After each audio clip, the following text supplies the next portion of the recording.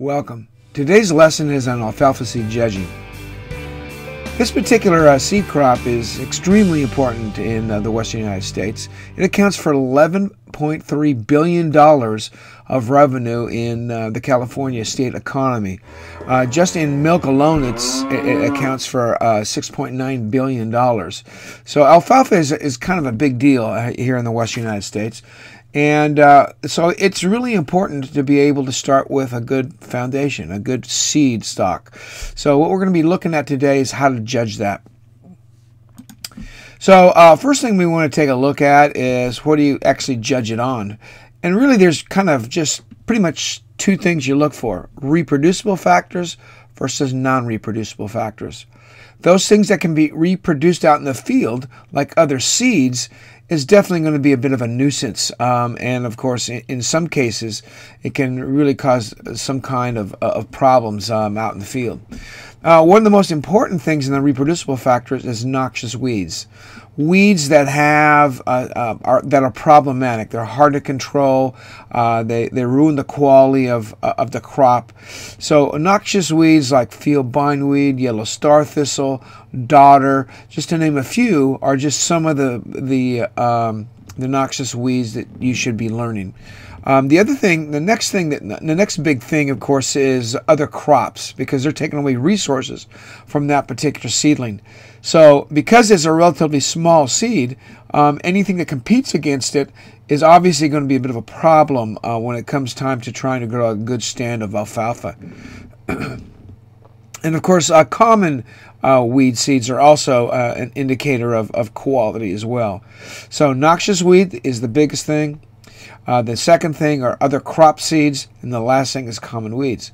Now, when we look on the non-reproducible sides, that's really kind of a, um, a quality issue as far as what kind of things you can find in it. Uh, things uh, damage. Damage is a kind of a big thing for these really small seeds because there isn't a whole lot of cotyledon, so they can't uh, store as much uh, energy as they might like to. Uh, so that any damage to the cotyledon usually is going to reduce vigor, reduce seed germ, and those kinds of things. And also, we're looking at how plump they are, how, how much energy have they stored. And obviously, it's a good thing. If they're kind of small and shriveled, obviously that's going to uh, impact their their uh, thriftiness. And then there's luster. Luster is just a kind of a, a kind of a um, kind of a quality uh, control kind of thing, things that you can look at to see if it if it's bright or it's lustrous. That's usually kind of an age thing. So uh, after every year, uh, you're going to lose certain percentage of, of germ. And then the last thing is things like dirt and, and chaff and, and a variety of other things. So those are the kind of the things you're going to be looking for today. Now, what, what I try to do is I just try to go through them very quickly, a quick kind of survey. So let's dive into these really quick. So you can see in, in seed number one, or in sample number one, we already have a, a, a seed.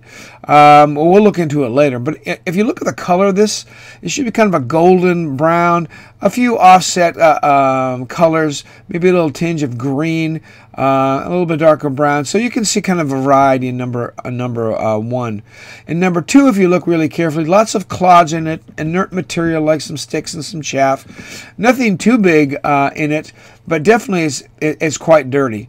So that's going to be a bit of a problem for number two. So number one, we saw some kind of weed. This has dirt clods in it, but both are relatively uniform in, in their size. When we get to number three, again, uh, same sort of thing, a fairly decent quality seed um, that is uniform. Um, and as, as we continue to look th uh, through it, we have a few dried seeds. Um, This one may lack a little luster, but still not a bad in terms of this quality. And as we sort through it, um, we can see that there doesn't seem to be too much wrong with it, um, but it's still a pretty good sample. Then we get to this one. This is kind of bright and lustrous seed, but we got a problem right at the very uh, start. You can see these kind of angular, rough seeds. There's two of them right there, really uh, apparent in, in, this sample. So we sort through and maybe look a little harder for some other things you might find. And uh, if you take a look at the the, the shape and the color of the, this particular seed, it's not too bad. Um, but obviously, we've we've uh, seen some major things in each one of these. So next thing we want to kind of consider is we want to take a look at some of the uh, problematic things, things like dodder. Uh, that is a parasitic plant, which is a tremendous uh, drain on a, on a plant's resources. And so you get kind of poor quality, and of course it spreads. Here, the seeds are very, very tiny. Notice they're about the same color of uh, of seed is is alfalfa. They're rounded. They're very rough in their texture on their seed coat. And this is what, of course, the uh, alfalfa looks like. So you can see how difficult it would tell, be able to tell uh, apart between dodder and, of course, uh, alfalfa. And there's some, some other uh, alfalfa seeds uh, with characteristic shape as well as color. So let's compare some. We're going to compare a couple different at a time. So we're going to look at number one again. And um, if, if, you look at number one, we're going to look at a little bit more carefully, going to sort through it a little bit more. Again, very good color. Um, it, it's uniform uh, in its color and its in shape and its size. but as we look through it, we want to make sure that it is clean as it possibly can, it can be. But we already see that seed right there. And if you take a look, it's kind of mottled. Um, and it has that kind of, of beige color to it. And, and that's real characteristic of um, milk, uh, blessed milk thistle. That's a common weed. And as we can remember um, from our little summary sheet, we, we notice that that is like second on the hit list of, of things we need to look for. Now we're going to look at sample number four. Number four um, is again kind of a bright, not so lustrous, but again, those two particular weed are weed seeds, and they kind of look like stones, and their seed coat is really, really rough. So I'm going to like a, take a little closer look at them.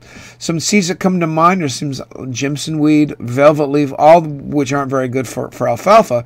But this one happens to be real characteristic because it's, it's angular stone look. That's going to be uh, field bindweed, a noxious weed. So uh, in the first one we had a common weed. In this one, we have a noxious weed. So let's take a look at number three. Uh, number three, again, if we look at this one, color is good.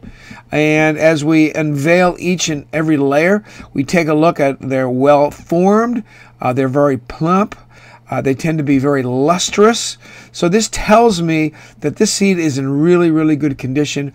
It probably will have a lot of seed vigor in it. And then let's take a look at number two. Right off the bat, you see some dirt clods. You see lots of soil uh, particles in it. And uh, this one isn't quite as lustrous. It could be just because it's covered with uh, soil, kind of dusty. But it's in of good shape. It's good color. I, I think this one will probably do really well. We're just talking about cleaning some seed. It's it's, it's not going to be, I don't think, that tough to um, to take care of. So there are comparisons. So after uh, kind of formulating in your mind, you had one that had a common weed. You had number four that had a, a, a some kind of field bindweed. You had sample number three, very clean, and then this last one right here um, is just the only thing wrong with it is it's just dirty.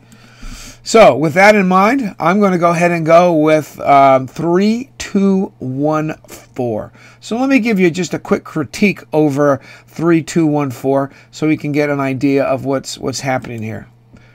If you take a look at number three, and also you may want to do this when you are really doing reasons and, and you're in the room trying to uh, jot things down. I try to jot down notes um, on um, these tra train my students to jot down notes as they go along. This is a very clean sample. Number three is it's bright, it's uniform, has natural color. It's it has a freedom from from common weeds as well as noxious. If this one is is planted out in the field today, it'll have an excellent germ rate and have a various very a, a very vigorous seed growth today. So that's why I placed it first. In second place, I put sample number two. Sample number two is very much like um, sample number three, but I had to knock it and put it in second place primarily because um, it needs to be clean. And every time you have to take it back uh, to the processor, it's gonna they're gonna dock you a little bit of uh, cash. However, I do like this seed. It's just on the dirty side for me today. And in sample, uh, sample number one is in my third position today. And primarily, it was a clean, bright sample, but I had to place it in, in third place because of the common weed of uh, blessed milk thistle. This will take away some from some of the nutrients and resources the plants need. And because it's a bigger weed, it, it might outcompete uh, some of the uh, stand for um, uh, seed vigor out in, out in the, the sample today. So in the last place, I put sample number four. I think it was pretty obvious that this is field bindweed, a noxious weed, which will reduce its salability and its quality. And of course, uh, uh, um, it'll probably also uh, fight for some of the resources. So, uh, pretty much there you have it. We have it 3214. I hope this has helped you, and we'll see you uh, at, the, at the next contest. Thanks.